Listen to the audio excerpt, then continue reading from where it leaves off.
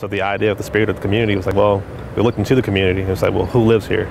So after thinking about that for a while and kind of go out, we took um, a view of the different murals that were already here. Uh, we looked at, uh, we had some demographic breakdowns at Mattie Rhodes as far as uh, the kids that we were able to reach and the families that we talked to. So we found out that we have a lot of Polish and Burmese, uh, a lot of uh, Arabic families, a lot of other, like, just other cultures that are living here. So that gave us the idea of like, well, hey, the Northeast isn't just, you know, Hispanics, blacks, and whites. It's a, it's a cultural melting pot. There's a lot of people here that are here from other countries, almost like, an, like, almost like an ambassador. An ambassador is a representative. So there's a lot of people that are here that are representatives of the other countries that they're from, living here in the Northeast. So came with the idea, it's like, well, the Northeast is like a new, uh, it's a new melting pot, but it's also like a veritable kingdom. So we're all living here in this kingdom, and we should stop seeing ourselves as um, as being separate but equal, but as being um, as being different, but we're we're all here in the same plane.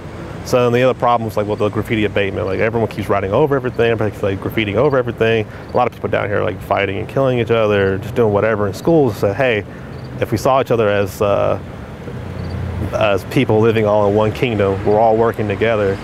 If we stop doing these different things to each other that are breaking ourselves down, we don't we work out better. So we have the different faces that represent as, as many of the different cultures that we could think of. So we have like the Aztec warrior, we have a lady from Ghana, we have uh, a lady that's like from the, the Sikh or this Arabic, we have another guy that's like Vietnamese, but he can be also be African.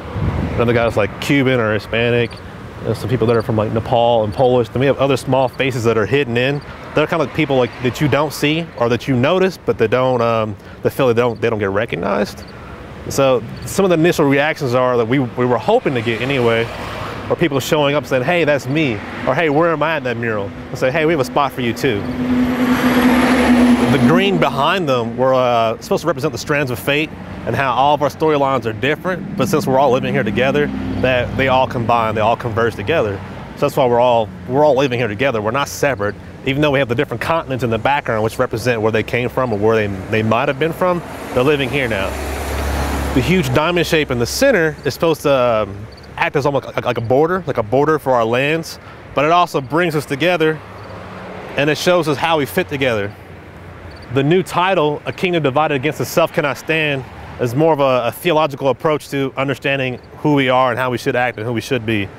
So if we're all fighting against each other, instead of trying to help each other uh, succeed, make it, stand out, and do what needs to be done, then we're, we're constantly tearing each other down. If we're tearing each other down from the inside out, then we don't need any outside forces to oppose us to do it for us. We're doing it ourselves.